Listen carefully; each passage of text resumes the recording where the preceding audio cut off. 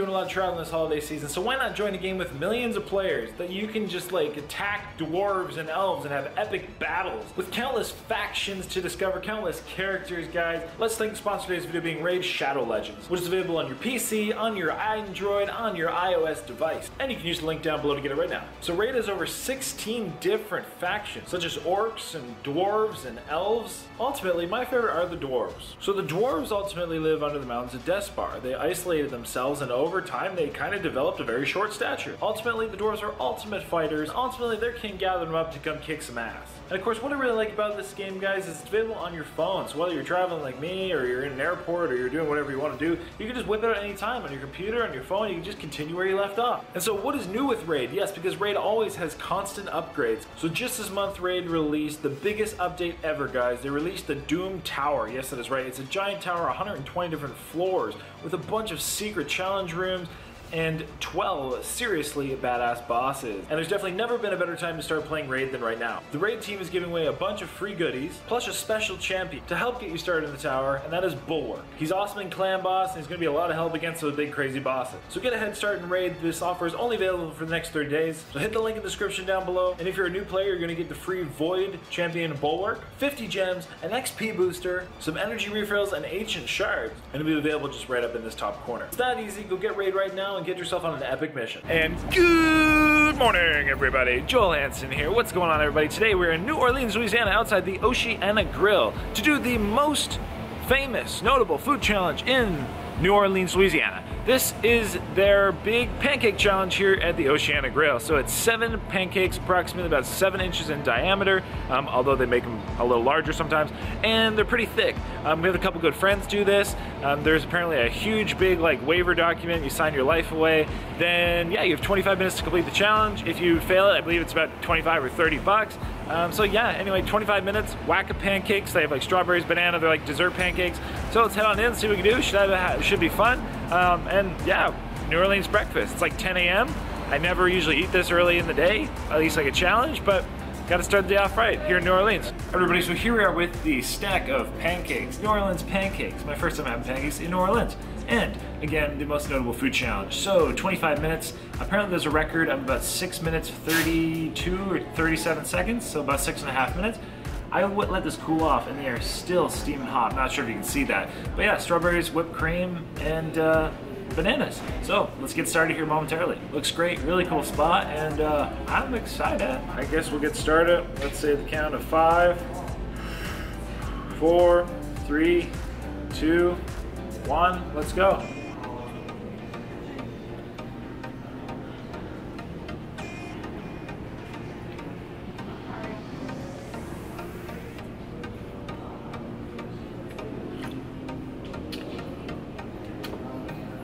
That's a buttery pancake. Already tastes like butter. Hey everyone, welcome to this video where today we're at the Oceana Grill in New Orleans. So, so excited to be here in New Orleans, guys. Um, my first time in New Orleans. I've been wanting to come to Louisiana for a long time. Um, I even had a trip booked, but I canceled it because of the current situation globally. But that being said, guys, this is the most notable food challenge. I've said that like three times, but it really is. This is the challenge people do when they come to New Orleans. It's one of the few in the downtown New Orleans. It's right in the French Quarter, and this Oceana Grill is very, very famous. If you go on their website, they have many like famous pictures of star, like movie stars, music stars, etc., all coming there. And uh, yeah, like seriously, it's a really cool spot, well noted. They have multiple levels. Um, the place is normally just bumping on a weekend, um, and of course they have a pancake challenge, which I thought was really really cool. Um, so as we said, seven pancakes, guys. It is a big one, um, but that's pretty much about it, guys. It's just pancakes. It's quick. Um, it's that's as simple as that. Uh, Mr. Beard Meats Food had the record, and pretty much every other eater that's ever been to New Orleans has done this challenge. Katina Eats Kilos.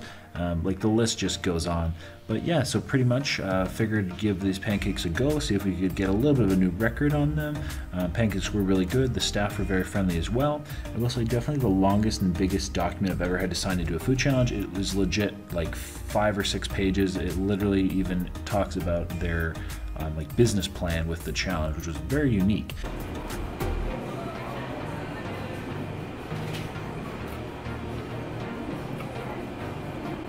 Yeah, these ones are still burning hot.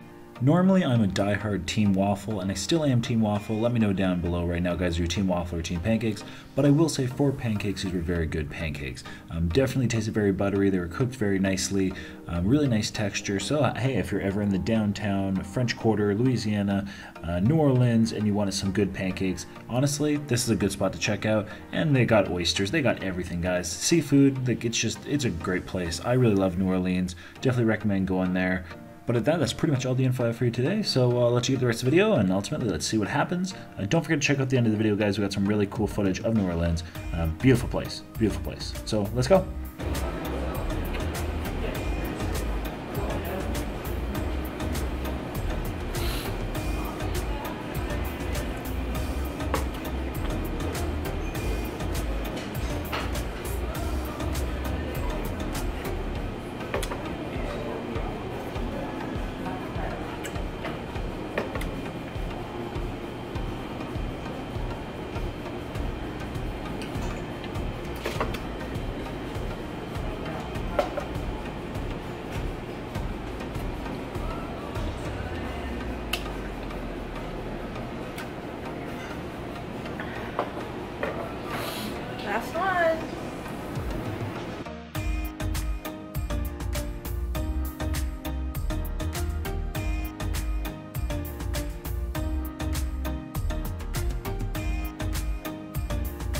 How, how, how many minutes? Three minutes, 32 seconds.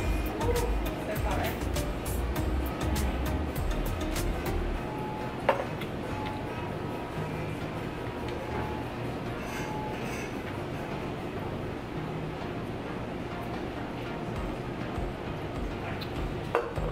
How about four minutes in?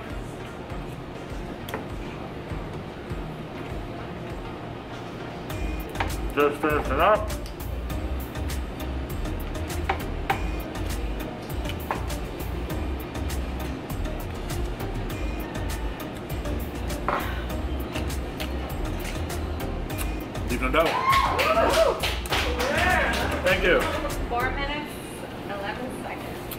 Minutes, 11 seconds, got a new record, so that's pretty cool.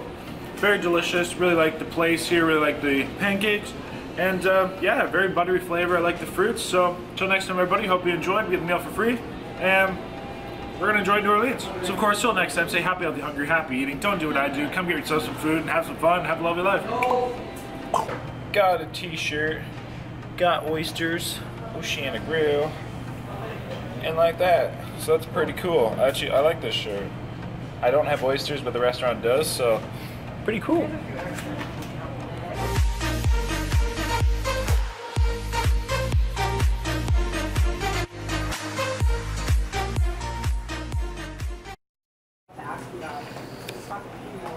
That's different. Not used to seeing that.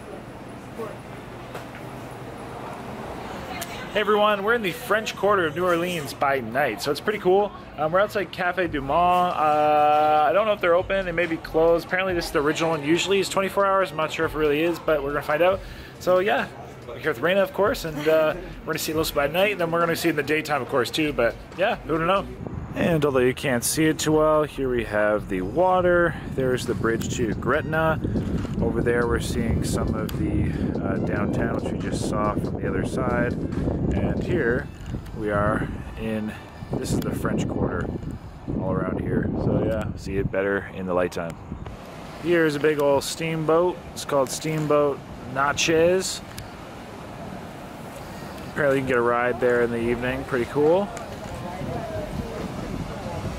See the big uh, paddle thingy thing behind it? It was just honking a second ago. It's really loud. Pretty cool though.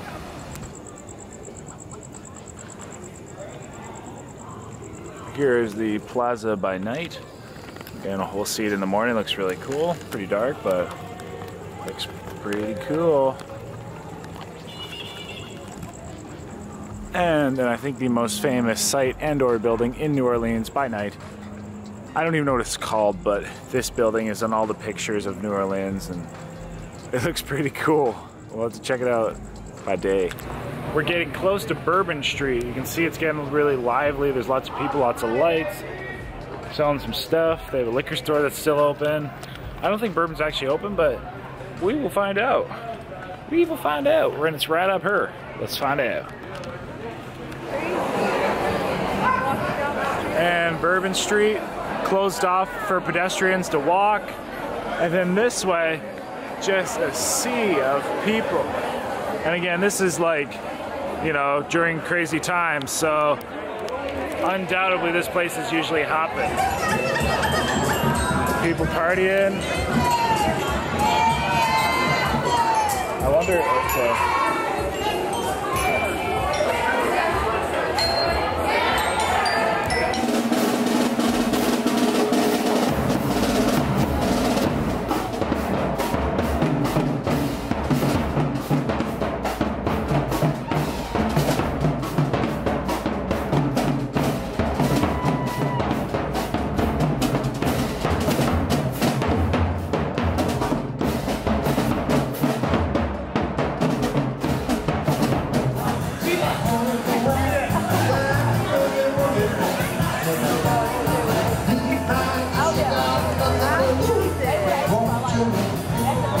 yeah, but there's the streetcars. Famous New Orleans uh, old style streetcars. And here on the back of the building, they are projecting Jesus. That's pretty cool. Interesting. Never did I know. That's pretty cool, huh?